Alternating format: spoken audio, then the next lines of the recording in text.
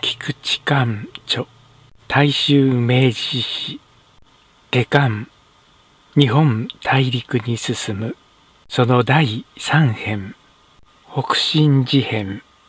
第一章。騎馬団事変。日清戦争が。日本の圧倒的な勝利をもって。終わりを告げると。ここに中国は完全にその無力を全世界の前に暴露した。それまでは列国は中国の軍備が見かけ倒しであることは知っていたが、その人口の膨大と領土の広大なことに一目置いて、眠れる獅子などという妙な形容をしていたが、日清戦争におけるその惨敗は結局眠れる豚でしかないことを暴露したのであった。弱肉強食の列強の帝国主義はこれを機として猛然とその牙をむき出して相次いで中国を脅迫して利権獲得に乗り出したのであった。日清の駅が終わってから数年の間に列強が中国から強奪した利権は主なものばかりでも31件もあり、老大帝国中国は全身をズタズタに食いなまれ、のたうち回っているという惨状を示した。日本の両東半島の領有を東洋平和に加害ありとして三国干渉によってこれを阻止した露、独、仏の三国は果たして中国にどんな恩恵を与えたのであろうか。露国は北満を通じてウラジオに至る鉄道不設権を得、さらに旅順大連を咀嚼して、その極東侵略の政策を露骨に表している。カイゼル地下の帝政ドイツは、その宣教師が殺されたのを口実に、公衆湾を占領咀嚼してチンタオ経営に乗り出している。フランスは南市全体に対して大きく発言権を増大し、安南鉄道を中国領土内へ延長し、海南島の不活条を宣言している。英国は三国干渉に加わって日本の恨みを買うのを巧みに避けると同時に中国の弱みにつけ込むことにおいては随一の手腕を示した。まず、異海営、空論を咀嚼するとともに、山海間、牛走鉄道の借款、新歩鉄道、航空鉄道、コネイ鉄道の不設権を得、また、上海税関における特権を得ている。中国に対しては、門戸開放を叫び、いつも綺麗な口を聞いている米国でさえ、これらの割前に預かって日韓鉄道の不設権を得て満足しているありさまである。中国における列強の三色はわずか数年ならずして頂上に達したような感を呈している。これに対して中国の政治家たちは何をしていたのか。もちろん、公有意一派を中心とする公著帝の進歩的な国政改革の企てはあったが、生体号はクーデターによって公著帝を幽閉し、朝廷の実権は主級的な昭王大臣によって占められてからは、もっぱらいい誠意の古いやり方一本で、その日その日をごまかしているありさまだ。そのため、列強の侵略に対して、中央地方を通じて猛烈な排外、急遽の風が起こったのも当然であった。中でも明治32年、山東省に起こった義和団は、八十教排斥、外人駆逐の熱を上げ、みるみるうちに中国全土に広がっていったのである。義和団というのは一種の宗教的な秘密結社であって、彼らは皆集って剣謀を練習してその術に長じていたので、剣秘とも言われている。真実を得れば、槍も鉄砲も傷つけないと信じていて、呪文を唱えながら勇敢に戦うのである。彼らの唱える急遽滅用のスローガンは、外人の横暴に憤慨していた当時の中国民衆をうまく捉え、勢力が増大するとともに、諸々の教会堂を焼き、宣教師、教民を虐殺した。しかも、保守派で占められていた朝廷が、これらの暴徒を義民として保護するや、義和憲費は北市一帯に蔓延し、ついに天津居留地を攻撃し、北京の各国公使館区域を包囲するに至った。これが北進事変の発端である。明治33年6月中旬から8月中旬まで約60日間、苦熱の中に3万の被弾に包囲されながら、公使館区域を死守したのが有名な北京籠城であって、日本側で籠城したのは孔子の西六次郎団以下50名、それに原種夫大尉の指揮する陸戦隊わずか24名であった。この北京籠城組の名士には、この他に石井菊次郎氏、また留学生として服部宇野吉、加納直樹博士があり、皆義勇兵の一人として銃を取って力投したものである。この他に今なお格爵として奏者をしのぐ芝五郎大将が、当時砲兵中佐として我が義勇軍の総指揮官として活躍したのは有名である。日本陸戦隊の他に各国は各々七八十名ぐらいの陸戦隊を持っていたので、外国兵全部で430名ばかりいたが、これでは兵力は絶対に足りない。中国側は憲費の他に官兵も加わり、官宿提督道副省の兵3万も北京を包囲しているので、縄文からは一足も踏み出せなかった。ことにイギリスのシーモア中将が各国陸戦隊2004名を率いて天津から救援にやってきて途中で憲費に散々にやられてからは北京は全く孤立無縁に陥ったのである。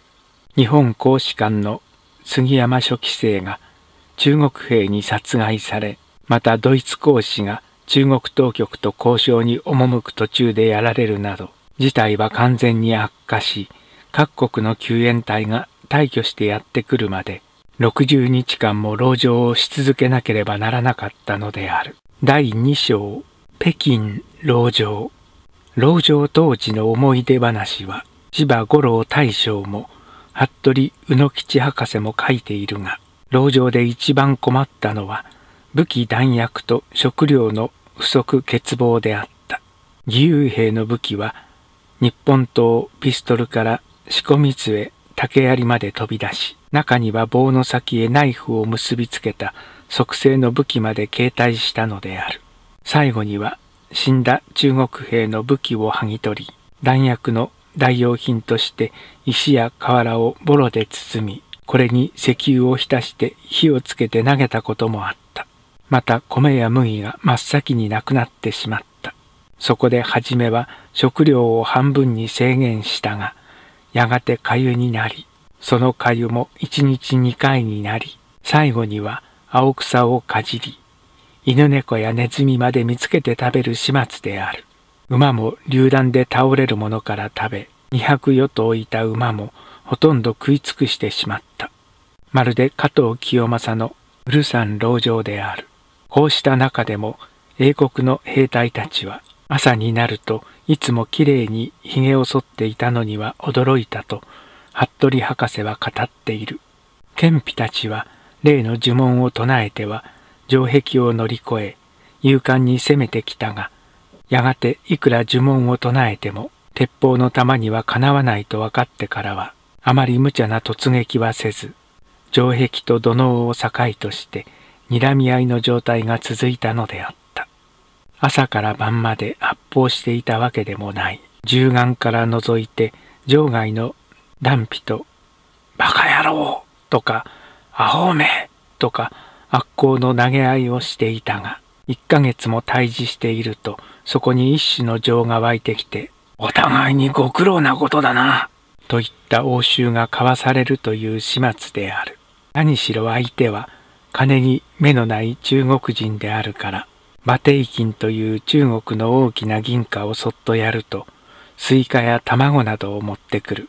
そのうちには鉄砲を売りに来る者まで現れてくる。そこで一計を案じた籠城組は彼らに金をやって密偵を募り、外部との連絡、ことに天津にある列国の主力軍との連絡を図ろうということになった。24回、こうした密偵を派遣したが、皆失敗したが最後に張徳林という男が守備よく使命を果たして帰ってきた。張はやはりこの銀貨に釣られてゆで卵を持ってやってきた中国兵の一人だが、芝中佐は彼をこっそり呼んで、天津の日本軍へ行って福島少将の返事をもらってきてくれ。金は300両やる。と言って彼に暗号の密書を与えた。岩皮紙に細かく毛筆でしたため、関税寄りにして衣服の縫い目に縫い込んだのである。どうせこれもダメだろうと諦めていると、8月1日に無事に帰ってきた。見ると左手の指を3本も切られている。天津に着いた時、日本軍に頼まれたということを示すため、進んで自分で切り、密書を福島少将に渡したのである。その返事だと言って蝶は着物の縫い目から福島少将の手紙を差し出した。当時、北京天津間の通信途絶して久しく、北京老城軍は全密ではないかとの悲観論が行われていたが、老城軍健在との知らせは天津の各国人を誘約させたのである。そのための救援軍の派遣もこれからテキパキと決まり、日本軍を主体とする強力な連合軍が北京へ向かうということになったのである。約束の金だと言って芝中佐が300両やろうとすると、長はどうしても受け取らない。その訳を聞くと、天津へ行ったついでに親父に会ったら、そんな金はもらってはいけない。兵隊を辞めて天津へ帰れと言われたから、これからすぐ天津へ帰ります。という。それではなぜ危ない思いをして密書の返事をもらってきたかと聞くと、一旦男が約束したからだと答える。さらに途中の中国軍の兵力や配置を尋ねると、そんなことは約束外だと一言も喋らない。そうして金も受け取らず、名も告げずに氷然と去ったが、義和団の変が終わると、一日民政官をしている芝中佐のもとを訪れてきた。その時なぜ日本軍の密使を務めたかと動機を聞かれると、自分は義和団の一人として事変に参加したが、戦争が長引くにつれてだんだん疑問が湧いてきた。中国がこうして列国の外交団を苦しめているのは、つまり全世界を相手に喧嘩をしているようなもので、今にこれはひどい目に遭う。これは何とか早く収まりをつけねばならぬが、それには一番信頼のできる日本軍を助けるのが早道だと考えたからです。と答えた。しかし事変が終わると彼の想像以上に列国は中国を痛めつけた。これはどうも自分の責任のような気がして両親が咎めて仕方がない。その相談のために芝中佐のところを訪れたのであった。張徳林はその後日露戦争にも満州事変にも終始日本人の誠意を信頼して日本のため中国のために尽くしている。昭和11年にも日本の観光にやってきているが、芝大将はお金のいらぬ人、直情傾向、中国人には珍しい人だと思う。目に一定字なく、私に手紙をくれる時でも封筒は誰かに書いてもらい、中には白い巻紙をきれいに畳んで入れてあるだけ。それでも張さんの心は十分に通じる。一種の全問答のようだが、私にはこの白紙の手紙が何より嬉しくありがたいと語っておられるが、日中両国人が本当に手を取り合って仕事をするには、これだけの誠意と定規がなければならぬと考えさせられるいい話ではないか。第五師団の動員、北京籠城の連中の中には、各国外交官の細君や子供がたくさんにおり、それが非常な苦心をしているということは、人道問題としてようやく英国などの世論を刺激しだした。それまでは各国とも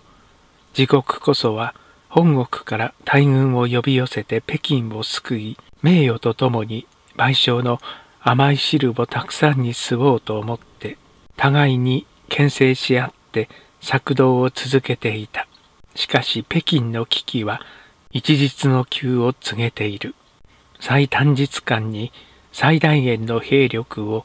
中国に運びうる者はまさに日本を置いて他に一国もないのだ。人一倍野心もあり、中国にも近いロシアでさえ、その極東兵力を旅人や大連から派遣するには一定の限度があって大したことはできない。三国干渉のことも口を拭って、今度は急に日本に頼り出し、その出兵を促してやまない。時の中英代理公使の松井慶四郎団の談話によると、A 首相ソールスベリーは松井団を捕らえて日本の出兵を督促してやまなかった。松井団が何しろ三国干渉という前例があるから出兵した後でまた何かと文句をつけられては日本としてはたまりませんから。と答えるとソウルスベリーはそれはそうかもしらんが今度は違う人道問題です。としきりに得意の人道問題を担ぎ出す。ロンドンタイムスのごときも人道のためこの際日本にやらせるのが一番いいとしきりに日本を頼みにするようになった。いざという時には日本が一番頼りになる。極東の英国権益を守るためには日本と協調するより他はないという機運、すなわち後年の日英同盟の機運がはっきりと英国世論の表面に現れてきたのはこの頃からであったと言ってよい。そこで日本は直ちに第五師団を動員した。師団長は山口元海中将であった。先見部隊として福島康政少将のもとに混成旅団が広島で編成され、直ちにタークに上陸すると同時にここに日本陸軍の進化は各国陸兵の面前で評価されることになった。これより先、ターク砲台攻撃に向かった6カ国の陸戦隊の中で、日本海軍の陸戦隊が最も勇敢であって、その実力は列強の間に越して花と歌われたものである。白石大尉の砲台一番乗りの話は最も有名であるが、何しろ日本の陸戦隊はあまり前へ進みすぎて、かえって連合軍の弾に後ろから当たったものがあったというくらいである。混成旅団はターク上陸後、直ちに天津城攻撃に向かい、得意の綿火薬で中国軍のよる城門を破壊し、牛尾のような突撃を繰り返している。天津城完全占拠と同時に直ちに水死営を襲撃、これを簡単に陥れている。この水死営はその前日、ドクロ仏の連合軍が攻めて負け、日本軍に助けを求めに来たのに対し、日本軍は返答代わりに占領してやったのである。師団主力の集結を待って、ここに日本軍を中心に列強の連合軍は陣容を整え、8月8日、天津を出発、北京普縁の都に着いた。総兵力2万2千人ほどであった。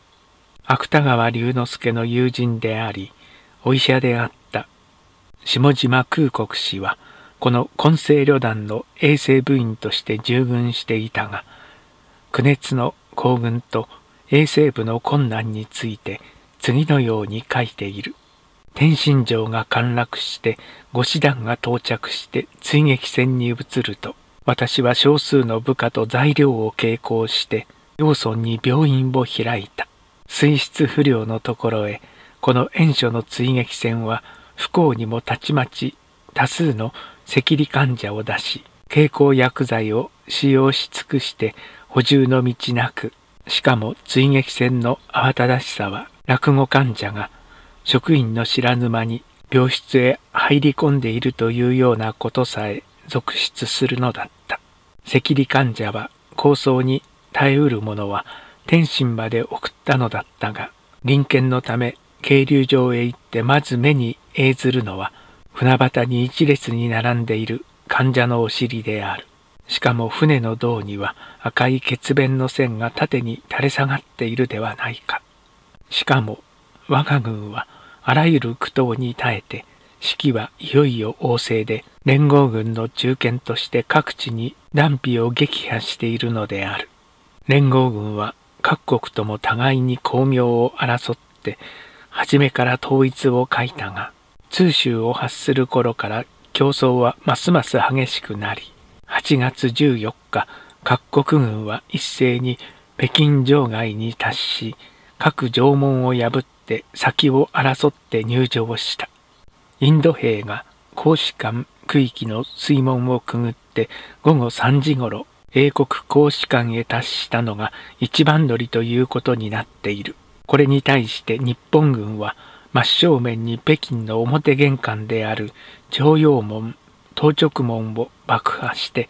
敵の主力と肉弾戦をやり、その数千を陸殺し、その屍を踏んで我が公使館に達しているが、いかにも日本軍らしいやり方だったと思う。救援軍至るや、老城の各国人は愛用して泣いた。ことに外国婦人などは感極まって夢中に縄文街に駆け出し、榴弾に当たって死んだ者があったくらいであった。60日ぶりで老城軍は郷から出て天日を仰いだのであった。北京海上とともに生体号はぼや密かに宮殿を抜け出し、変装して古馬車に乗じ、西安へ往陣したのであった。日本軍の軍機厳正、清朝末期の首都北京は国威衰えたりといえども、その浮力は天下に冠たるものがあった。ことに後期乾隆という黄金時代を去ること遠くないので、王城には天下の宝物金銀があふれ、負荷には鎮在気泡がたくさんに増してあった。下島氏の話によれば、ローソンあたりの敵は、ちりめんやドンスで土のを作っていたり、通州など、デイネイの道へ砂利代わりに、5テール、10テールの馬蹄銀を敷き詰めてあったという。北京でも、ラマ寺の床下や豪華の井戸の底などには、とても数えきれないほどの銀貨が隠されてあったという。その富の程度は、その後、平戦相続いた今日の北京などでは想像もつかぬくらいだったと思う。その北京へ入場した各国の兵隊はそこで何をしたであろうか。まず略奪であった。西洋の兵隊の分取りというものは話にもならぬくらいひどかったもので、戦争は日本兵にやらせ、自分たちは分取り専門にかかったと言っても言い過ぎではなかったほどでした。と下島氏は語っているが、中でもひどいのはフランスの兵隊で、分取り隊といった組織だった隊を作り、現役の少佐がこれを指揮して、宮殿やら豪華から宝物を略奪しては、ジャンクを雇って悪我を下らせ、そっくりダークに停泊しているフランスの軍艦に運ばせたというが、その品数だけでも莫大な量だったという。英国兵も北京や通州で大略奪をやり、王城内ではロシア兵はその本領を発揮して財物を盛んに運び出している。若き日の下村海南氏も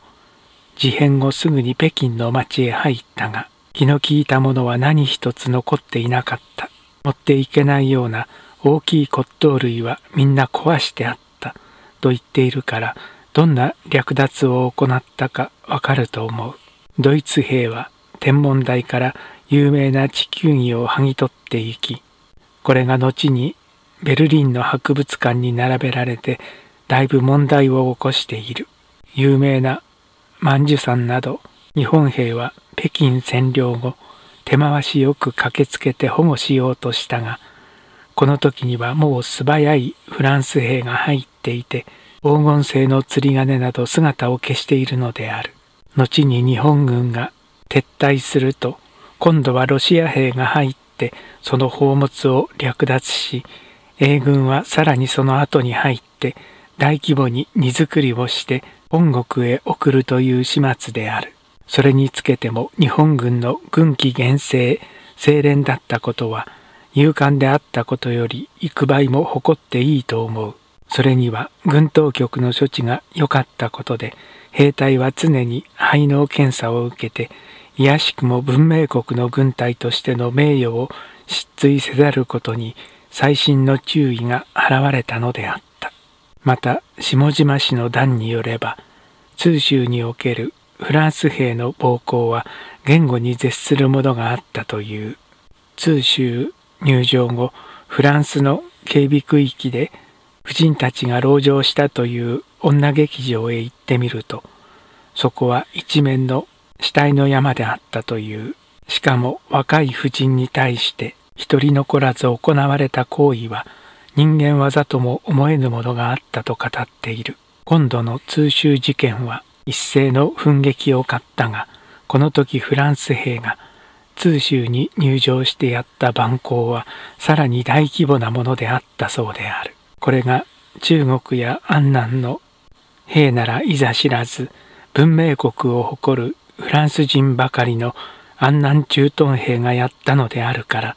弁解の余地もない。戦後戦績視察に出かけた田口定賢博士はこの通州を訪れた時のことを次のように書いている。通州の人民は皆連合軍に基準したるに兄計らんやロフツの占領区においては兵が略奪暴行をはじめしかば人民は驚きて日本軍に訴えたり日本守備隊はこれを救いたり故に人民は皆日本の占領区に集まりてその安全を保ちたり世は現に佐本守備隊長の案内を得て、その守備隊本部の近傍に避難せるスータの婦女、老人を目撃したり、彼らは皆世を見て土下座したり、佐本守備隊長は日本にこのごとき例なしとて彼らを貶めたり、彼らの多数の者は身分ありし者なりしが、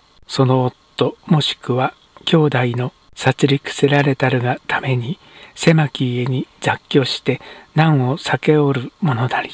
世の聞くところをもってするに通州において上流の婦人の水亀に投じて死したる者573人ありしと言えり。その水亀とは当地の舞子に損する者なり。かの芝恩公が石を投じてこれを割り、人命を救いたりという水亀これなり。土仏の兵に恥ずかしめらるといえども、下等の婦女に至りてはこのことなし。故に水亀に投じて死したる婦女は、皆中流以上の婦女にして、身のやるせなきがために死したることを知るべし。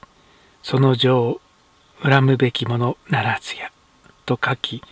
その他北市各地で連合軍の犯した悪行を列挙して、すべてこのごとき場合において、日本軍は中国人の保護者にてありき、中国人はおおよそ日本軍に訴えきたれり、思考して日本兵はその訴えを得て発出してこれを救出せるなり、故に日本軍は北進地方において実に万通院の長兵衛を決め込めるものなり、と感激している。田口定賢はさらに筆を進めて日本軍が正直すぎたりとの表は、世が北京におるの際、しばしば耳にしたり、その章として列挙せられるところに曰く、万寿山は日本軍が第一に占領したるに、これを軍備に不必要として放棄し、路軍これを占有してその宝物を奪い、英軍その後を受けて方に荷造りをなしおれり。義蘭殿は独軍これを占領してその貨物を携帯し去らんとす。しかるに日本軍の占領せる工場においては一切の宝玉珍奇皆そのままにして深刻宦官らをしてこれを保護せしめおれり。これあまりに正直すぎたるものにあらずやと。しかれども世は日本軍がこれをそのままに保護して新国皇帝に返付するは日本帝国が新国に対し同情を表するの良き方法たることを信じ山口市団長の虚祖を喜ぶ者なり。ああ珠玉珍宝これを売るも幾ばの価値あらんや。日本軍の挙動は実に大国の挙動なりと断じている。けだし日本軍の品位は当時の国民が知る前に列国の間に無言のうちに重んぜられていたのである。また日本軍の実力は欧米の世論がこれを知る前に欧米の軍人たちが中国において肝に銘じて認めたのである。さらに日本軍の品位と実力は実に中国民衆の間に大きな信頼の念を植え付けたことにおいて北進事変は今日さらに大きく評価しなければならないと思う。日本軍の駐屯するところは各国の守備地域の何倍も繁盛したし、民衆ばかりか政府も日本を信用して北京の警察事務など挙げて日本に委託するという風である。また戦後は日本に起こす留学生も激増したのであった。日本は北市事変に対して何らの野心もなかった。兵隊は勇敢で清廉だ。軍部も政府も足並み揃えて、ただ居留民の保護と平和のために全力を尽くして他に求めるところがなかった。この事変の解決には、日本討路者の考えは公明で大きなものがあったのだ。あれだけの大軍を動かし、あれだけの働きをして物質的利益の要求は日本が一番少なかった。新国は各国へ4億5千万テールの賠償金を支払っているが、我が国の得たものは1割にも満たぬ4400万円であった。これは野心満々たる露国やドイツの要求とは非常な違いであった。小村寿太郎全権の親慮がそこに損したわけだが、軍部も民間の有志たちも一致して中国に対して交友の手を差し伸べたのであった。今度の事変の収集にあたって無賠償、無活情の原則に基づくこの衛生名がなぜ叫ばれなければならないか。国民は冷静に、また懸命に北進事変の教訓を汲み取らねばならないと思う。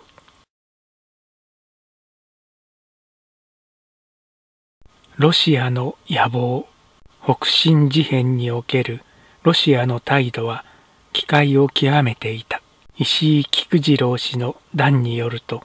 ロシアは北京に籠城している者が皆殺しになることを希望していたという。だから天津で北京救援の軍議をまとめようとするとそれを妨害するのはロシアであった。つまりロシアは満州を取るためには北京に籠城している各国のうるさ型が全部殺された方が好都合だったというのである。これは密偵が石井氏のもとへ持ってきた情報だから、どこまで信用してよいかわからぬが、とにかく露国がこの変を好機として一仕事目論んでいたことは事実であった。しかもドイツのカイゼルはこれを黙認し、フランスは国債を引き受けてこれが兵糧方を務めているのである。すなわち事変が起こるとともに、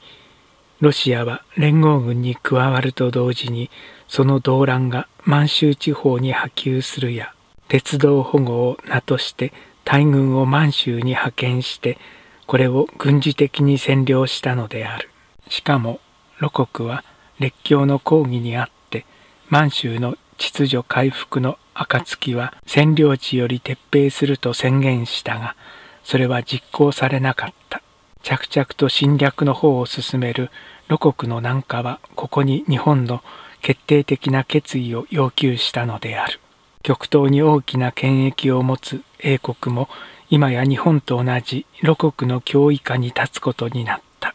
日英同盟、そして日露戦争と北進事変の後始末は幾多の波乱を生み、極東の天地はさらに戦雲の巨来慌ただしきものがある。